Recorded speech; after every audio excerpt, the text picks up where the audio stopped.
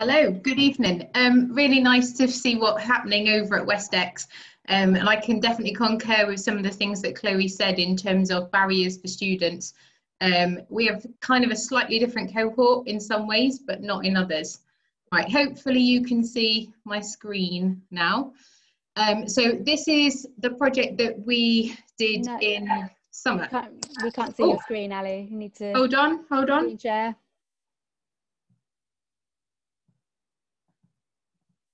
Can we see it now? Yeah, yeah. real. Yeah, there we go. Okay. Um, so just a bit of background from us. Um, we're in 11 to 16 secondary school. Um, we've got quite we've got a nine form entry uh, with roughly 30 students in each year. Um, we have over 20 feeder schools. Um, so in terms of looking at where our students are coming from, that is from across the whole of the city and beyond. Um, we work with Sustrans, so Charlotte is our link for Sustrans, um, which has been great. So we've done, done things like Dr. Bike, um, we've been able to put into place a travel plan, um, and then she suggested some other ideas. Um, we offer bikeability to students in year seven. Um, we pick up any in year eight that want to do it. Um, we don't, it's, it's a choice for our students. Um, it's not run in an activities week or anything like that. We have three students a day uh, with, our amazing instructor, Sam Cam, that many of you may know. Um, and she tailors that course to them. Um, and what we feel is actually there's no point in a student doing bikeability if they're not then actually going to put it into practice. It's like doing first aid but not using it. Um, we have a group of students who live so close to school that actually on a day-to-day -day commuter basis, they're not going to be on their bikes because it'll take them five minutes to walk. Um, but then we've got another group of students who actually will commute on a daily basis into school. Um, we've linked in with the big pedal previously, particularly focusing in on year seven and eight. Um, and that's been uh, amazing. We've had amazing numbers. So 2019, we were in the top five in the Southwest for those students that cycled in on that week that we focused in on. Um, we also have in year 10 residential, um, we run a touring cycle trip around Holland uh, where students basically are self-sufficient for the week and we tour them through the amazing cycle routes of the Dutch countrysides, towns and cities um, so actually cycling in England is quite different than cycling in Holland and it's amazing over there um, and really, really safe. Right, let me just move on. So originally, as Chloe mentioned, the plan, and I think it was kind of for them as well, was to um, lead some rides with some of our close feeder primary schools where it was going to be appropriate. We could make links with them and uh, bring them in, do some lead rides, look at the safe routes, look at hazards, etc. Then COVID hit. So everybody's kind of shut down, and then this kind of led to the project. So the solution was to cycle and map possible safe routes to St. Peter's from 19 of our feeder schools. That was then shared with new year six students, parents coming in, current students and also staff across the school. Um, for each of the 19 primary feeder schools, um, you can see some lovely pictures of me at the bottom. Um, they received a video. So when I cycled those routes, I GPS them, um, which meant that I could create a relive video. On my cycling, I also took pictures at particular pinch points or junctions that the students really needed to be aware of.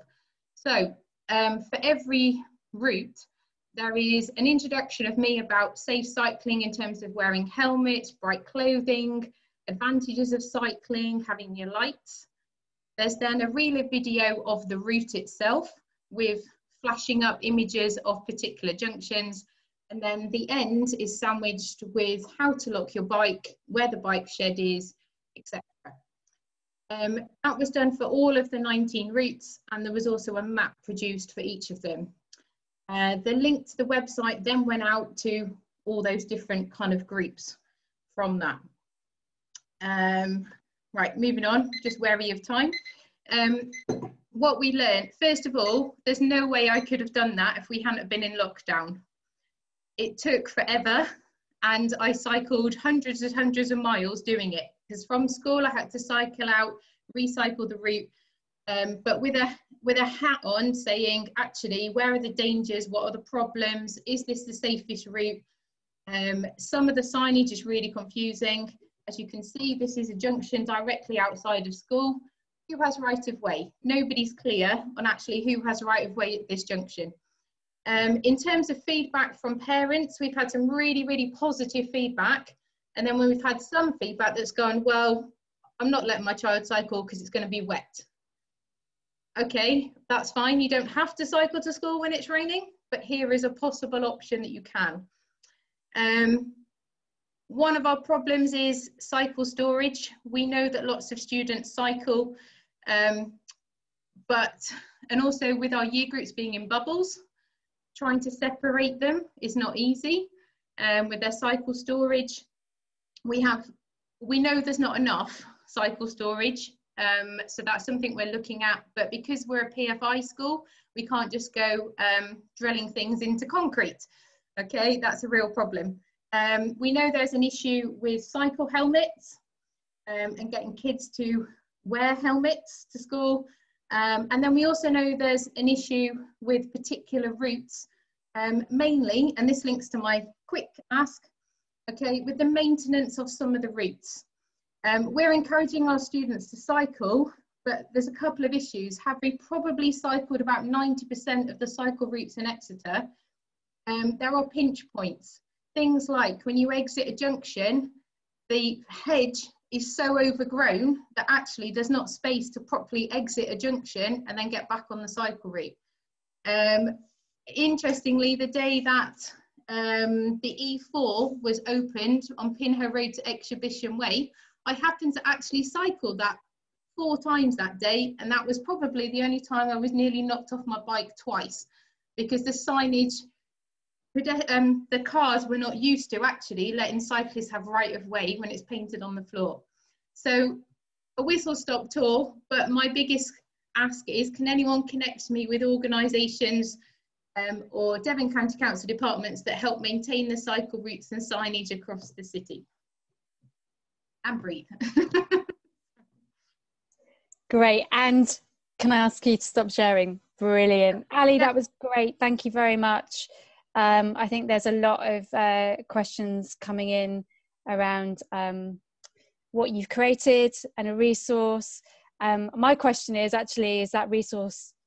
I, I, I actually, it, it's Marjorie, I think you, you've put a really great question in there about how that can be a resource for other schools to use what you've done, what you've achieved for your year for those year six pupils from those feeder schools going into year seven as a as a potential webinar for other schools.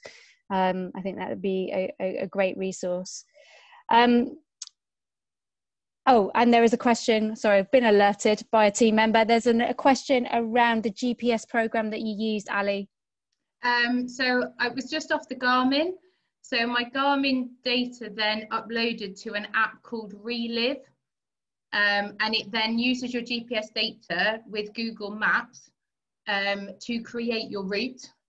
But very cleverly, if at the same time on that route you have taken images, like on an iPhone, it automatically picks up the exact spot on the GPS data where you took that image. So it inserts it into the route at the exact point where that junction or that particular turn is.